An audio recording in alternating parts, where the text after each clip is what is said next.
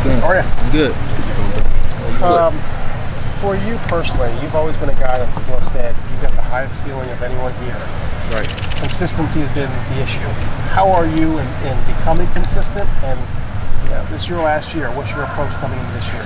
Uh, really just having that focus and you know coming in every day, going hard, and you know pushing my teammates, uh, worrying about zone six, making plays every chance I get. So. And, and has the consistency been there Yes, summer? it has. Yep, working every day and you know making plays like I said, and you know keep attacking every day. And for you guys, you guys lost three senior captains. Right.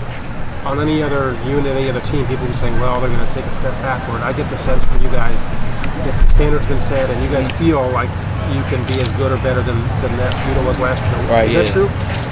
We coming we coming in really trying to you know enhance that you know we're not trying to take a step back we keep enhancing every day you know you know three guys we lost some great guys you know we just gonna continue to get better and you know reach that potential Yeah, elaborate on your expectations, your personal expectations. Bill was just asking you about that, but you know, building on things like your your big play in the Penn State game last year, especially now as a senior, just your personal expectations going into your final collegiate season.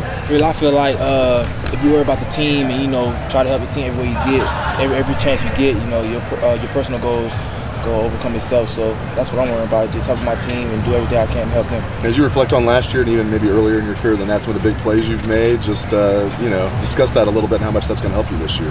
Uh, every time, like I said, every time I go in, you know, a play is called for me, or you know, it, whether it's blocking or the ball's coming to me, I just got to go in and have that mindset. Yeah, I'm, I got to make this play every chance I get. What are you seeing from Justin so far? I know it's it's uh, still kind of early, but he was Right. just named starting quarterback the other day. Uh, what do you see from Justin in camp so far? Uh, Justin's a great guy. You know, he makes them throws. He's a, a hard worker, and you know, I'm ready for the season. We ready to attack this. Of the guys, we know about you and Austin and, and KJ, obviously. Right. Chris came on last year. Who of the, the lesser known guys to the general public have really emerged and who are you excited to see on Saturdays?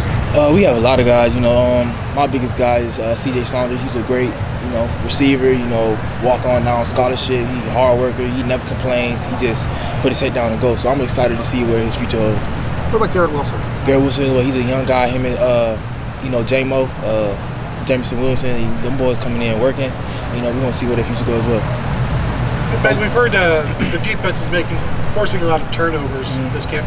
What are they doing differently that compared to last year in that regard? Uh, the defense actually is making us better as receivers, at a, as an offense. So, uh, you know, every chance they get, they try to pop the ball out and do stuff like that. So we gotta take care of the ball. You know, you know, make plays as we usually do.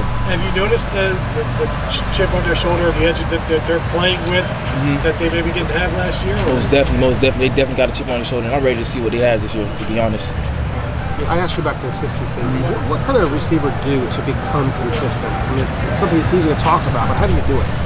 I feel like you just gotta block the outside noise and you know put your head down and work as hard as you can. You know, like I said before, just anytime you know it's time for you to make a play or uh, your number is called, like coach say, you just gotta go out there and make that play. And how much of that is what you do in, in the offseason, in the summertime, and all that? Uh, you just gotta. Uh, what I have been doing was basically working on my uh, weaknesses and you know making it stronger. So we're gonna see how the season goes. Anything in particular?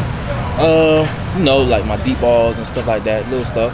What was Justin like this summer as far as like organizing, you know, throwing and stuff like that? Uh, the Q- uh, the QBs and Justin and the QBs and the wideouts we do every day. So um, we got a great connection. We just gonna see how the season rolls. Is there any like comfort in seeing the finally named starting quarterback? You know who's going to be throwing you the ball this year. I mean, yeah, but uh, I feel like all the QBs came in and, and competed, and you know, Justin, I guess, you know, won the spot. But every every QB is doing their job. What, what does it mean to, to the team, uh, Binjimen, when they named Justin the starting quarterback, at least for the first game and stuff? What what does that change? How, how did things change the last couple of days, I guess? Uh, I didn't see any change because he, to be honest, everybody been all the QBs and Justin as well, all been working hard and you know making the plays that they should uh, make. But you know, him being named the starter is just Yeah. really just a saying. So What's what's going to be different about this offense with him at quarterback, in your opinion, compared to like a year ago with, uh, I mean, you know, he, he tried 533 passes last year. You know, right, but uh, they two different quarterbacks. You know, you, you can tell by that. But um, I feel like Justin could make those throws and you know he could get it there. So it's gonna be a fun year. How's your partner in crime, Austin Mack, doing? I know he's been banged up a little bit, but how's he doing right Austin now? doing great right now. He's just ready for him to get back on the field. He's gonna make some plays for us as well. It, has time flown by? It seems like just yesterday you guys were true freshmen coming in together. We were interviewing you guys, or does it seem like it's been a while? Right. It, it, it really flew by to be honest. You know, we, we seniors now. We just gotta hold that standard and then you know make it work. Hey Ben, what's uh, Chris Olave like in practice? Oh, Chris is he just crazy good? Or what? Chris is funny, man. That's my that's my young bull, but he, uh, he's a great worker. He he go out there and work hard every day, and you know he make those plays as well in practice. He had a great fall camp, so I'm really excited for him. Ben, you future. you were in this program for a few years. You understood the idea of having to wait your turn. Chris comes in and does that.